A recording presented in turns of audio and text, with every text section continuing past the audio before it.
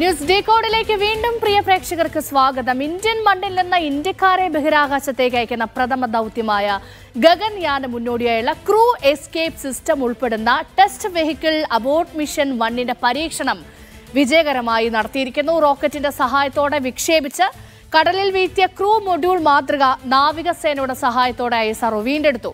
അതായത് രണ്ടായിരത്തി ഇരുപത്തിയഞ്ചിൽ നടക്കുന്ന ഗഗൻയാൻ വിക്ഷേപണത്തിന് ശേഷം അബോർഡ് ചെയ്യേണ്ടി വന്നാൽ യാത്രികരെ സുരക്ഷിതമായി തിരിച്ചെത്തിക്കുന്നത് ഉറപ്പാക്കുന്നതിനാണ് ക്രൂ എസ്കേപ്പ് സിസ്റ്റം പരീക്ഷിച്ചു നോക്കിയത്. വിവരങ്ങൾ നൽകാൻ മഹേഷ് പോലൂർ കൂടി എന്റെ ഒപ്പം ചേരുന്നുണ്ട്. Mahesh good evening good evening Mahesh ആദ്യം നമ്മളിപ്പോൾ എവിടെയാണ് നിൽക്കുന്നതെന്ന് പ്രേക്ഷകർക്കൊന്ന് പറഞ്ഞു കൊടുക്കാം നമ്മൾ ബംഗാൾ ഉൾക്കടലിന്റെ ഒരു സാങ്കല്പിക തീരത്താണ്. നമ്മളുള്ളത്. ഞങ്ങൾ ഇന്നലെ ഞങ്ങളുടെ ഡോക്യുമെന്റർ റിയാലിറ്റി ടീം തയ്യാറാക്കിയ ശ്രീഹരിക്കോട്ട തയ്യാറാക്കി അതുപോലെ തന്നെ ബംഗാൾ ഉൾക്കടലിന്റെ തീരവും. ഇന്ന് നമ്മുടെ കണ്ണുകൾ മുഴുവൻ ബംഗാൾ ഉൾക്കടലിന്റെ തീരത്തേക്കായിരുന്നു. ഇന്ത്യയെ സംബന്ധിച്ചിടത്തോളം ഗഗൻയാൻ പദ്ധതിയുടെ ഏറ്റവും നിർണായകമായ ഒരു പരീക്ഷണ ഘട്ടമാണ് പരീക്ഷണ ഘട്ടത്തിലേക്ക് വരുന്നതിന് മുൻപ് നമ്മുടെ പ്രേക്ഷകർക്ക് വേണ്ടി വളരെ ലളിതമായി എന്താണ് ഈ പദ്ധതി ഒന്ന് ഒന്ന് ലളിതമായി വിശദീകരിക്കാം. ഓക്കെ ഗഗൻയാൻ പദ്ധതി എന്ന് പറയുന്നത് നമുക്കറിയാം. അതായത് ഇന്ത്യയിൽ നിന്നുള്ള ബഹിരാകാശ സഞ്ചാരികളെ നാനൂറ് കിലോമീറ്റർ ഉയരത്തിൽ ബഹിരാകാശത്ത് എത്തിച്ച് അവിടെ ഒരു മൂന്ന് ദിവസം താമസിച്ച് തിരികെ സുരക്ഷിതമായി കൊണ്ടുവരിക എന്നുള്ളതാണ്. അത് നടക്കുന്നത് രണ്ടായിരത്തി ഇരുപത്തി അഞ്ചിലാണ് അപ്പം ഇന്ന് നടന്ന പരീക്ഷണം എന്ന് പറയുന്നത് ഏതെങ്കിലും തരത്തിൽ ഈ ഗഗൻയാൻ പദ്ധതി നടക്കുന്ന സമയത്ത് അതായത് റോക്കറ്റ് കുതിച്ച് ഉയരുന്ന സമയത്ത് എന്തെങ്കിലും അനിഷ്ടമായ എന്തെങ്കിലും സംഭവിച്ചാൽ നമ്മുടെ ആളുകളെ സുരക്ഷിതമായി താഴെ ഇറക്കണം. അത് അങ്ങനെ ഒരു സിറ്റുവേഷൻ വന്നു കഴിഞ്ഞാൽ അതെങ്ങനെ ഹാൻഡിൽ ചെയ്യും?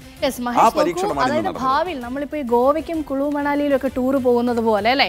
ഏറ്റവും നമ്മൾ ബഹിരാകാശത്തേക്ക് ടൂർ പോകുന്ന ഒരു കാലം അല്ലെ? നമ്മളെ കാത്തിരിക്കുന്നുണ്ടാകാം. യെസ് മഹേഷ് അതായത് ഈ പരീക്ഷണ ഘട്ടത്തിൽ രാവിലെ ഒന്ന് ചെറിയ ടെൻഷൻ ഒക്കെ ഉണ്ടായിരുന്നു അല്ലെ? അതായത് ഇന്ന് രാവിലെ നമ്മൾ എട്ട് മണിക്കായിരുന്നു ഇന്നലെ ഷെഡ്യൂൾ ചെയ്തിരുന്നത്. രണ്ടു ദിവസം മുൻപേ പറഞ്ഞാണ്. എട്ട് മണിക്കായിരുന്നു ഇന്നത്തെ വിക്ഷേപണവും തുടർന്നുള്ള പരീക്ഷണവും പ്ലാൻ ചെയ്തിരുന്നത്. എട്ട് മണിയായിട്ടും അവിടെ അതിന്റെ അതിന്റെ അവരുടെ ലൈവ് സ്ട്രീമിംഗ് ഒന്നും നടന്നില്ല. അപ്പോഴാണ് അന്വേഷിച്ചപ്പോഴാണ് അറിയുന്നത്. അവിടെ കൗണ്ട് ഡൗൺ ക്ലോക്കിന്റെ സമയം മാറ്റിയിട്ടുണ്ട്. എട്ടരയിലേക്ക് മാറ്റി ആദ്യം. അതിന് പ്രതികൂല കാലാവസ്ഥയായിരുന്നു കാരണം അത് പിന്നീടാണ് അറിഞ്ഞത്. എട്ടരക്കും പക്ഷെ നടന്നില്ല. ആ സമയമാകുമ്പോഴത്തേക്ക് കൗണ്ട് ഡൗൺ ക്ലോക്ക് തന്നെ ഒന്ന് നിലച്ചു. അപ്പോൾ എന്താണ് സംഭവിക്കുന്നത് എന്നുള്ളൊരു ആശങ്ക നമുക്കൊക്കെ ഉണ്ടായിരുന്നു. പക്ഷേ പിന്നീട് ഐ എസ് ആർ വീണ്ടും അറിയിച്ച് ഞങ്ങൾ തുടങ്ങുവാണ്. എട്ടേ മുക്കാലിലാണെന്ന് ഉറപ്പ്. എട്ടേ മുക്കാലിന് എട്ട് നാൽപ്പത്തി അഞ്ചിന് വിക്ഷേപണത്തിനുള്ള കൗണ്ട് ഡൗൺ ആരംഭിച്ചു കഴിഞ്ഞു. അവസാന അഞ്ച് സെക്കൻഡുള്ള സമയത്ത് എഞ്ചിനിലേക്ക് ഇതിന്റെ ജ്വലനം നടന്നില്ല. അതിന്റെ ഒരു ഓട്ടോമേറ്റഡ് കമ്പ്യൂട്ടർ സിസ്റ്റം ഉണ്ട്. അത് പറയുന്നു ഇത് മുകളിലേക്ക് പോകേണ്ട സമയമായിട്ടില്ല പ്രശ്നമുണ്ട് എന്ന് പറയുന്നു.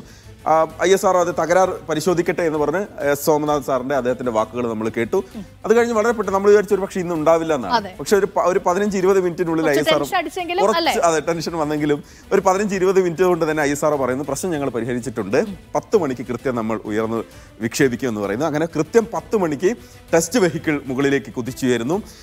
അറുപത്തി ഒന്നാമത്തെ സെക്കൻഡിൽ ഒരു മിനിറ്റ് കഴിയുമ്പോൾ ടെസ്റ്റ് വെഹിക്കിൾ ഉണ്ട്. അത് ഇതിനെ മുകളിലേക്ക് ഉയർത്തിയ ടെസ്റ്റ് വെഹിക്കിൾ. അത് ഈ ക്രൂ എസ്കേപ്പ് സിസ്റ്റത്തെ വേർപെടുത്തുന്നു പിന്നീട് ഒരു അഞ്ച് കിലോമീറ്റർ പോകുന്നു. ക്രൂ എസ്കേപ്പ് സിസ്റ്റത്തിൽ നിന്ന് മൊഡ്യൂൾ അതായത് നമ്മൾക്ക് ബഹിരാകാശ യാത്രികരെ കൊണ്ടുപോകാനുള്ള പേടകത്തിന്റെ മാതൃകയുണ്ടല്ലോ. അതെ. കൃത്യമായി വേർപെടുന്നു അത് താഴേക്ക് പതിക്കുന്നു. ആദ്യം തന്നെ രണ്ട് ചെറിയ പാരച്യൂട്ടുകൾ ഡ്രോഗ് പാരച്യൂട്ടുകൾ ഇതിനെ ബാലൻസ് ചെയ്ത് നിർത്തുന്നു. താഴേക്ക് സാവധാനം വരുന്നു. രണ്ടര കിലോമീറ്റർ സമുദ്രത്തിന്റെ ഉപരിതലത്തിൽ എത്തുമ്പോൾ പ്രധാന പാരച്യൂട്ടുകൾ ഉയരുന്നു അത് പതിയെ പതിയെ ഇറങ്ങുന്നു. നാവികസേനയുടെ ഉദ്യോഗസ്ഥർ അത് എടുക്കുന്നു. തിരിച്ചു കൊണ്ടുവരുന്നു. ഐ എസ് ആർ അവസാനമായി ചെയ്ത ട്വീറ്റും കൂടെ നമുക്ക് വളരെ കേൾക്കേണ്ട ഒരു വാക്കുകളാണ്. സുരക്ഷിതമായ കൈകളിൽ അത് എത്തിയിരിക്കുന്നു. ഇന്ത്യൻ നാവികസേനയുടെ കൈകളിൽ അത് എത്തിയിരിക്കുന്നു. തീർച്ചയായിട്ടും. അപ്പൊ ഇന്നത്തെ മിഷൻ സക്സസ് ആയി. ഇനിയും വരാനിരിക്കുന്ന ഒരുപാട് മിഷനുകൾ ഉണ്ട്. ഇതിന്റെ തുടർ അല്ലെ പ്രവർത്തനങ്ങൾ. അപ്പോൾ അതൊക്കെ സക്സസ് ആവട്ടെ. ഐ എസ് ആർ ഇപ്പോൾ വലിയ വിജയ വഴിയിൽ കൂടി കടന്നു പോവുകയാണ്. ബഹിരാകാശ രംഗത്ത് തന്നെ ലോകരാജ്യങ്ങളോട് കിടപിടിക്കുന്ന തരത്തിലുള്ള പരീക്ഷണങ്ങൾ പ്രവർത്തനങ്ങളൊക്കെ ഉണ്ടാകുന്നുണ്ട്. നമുക്ക് എന്താണെങ്കിലും കാത്തിരിക്കാം.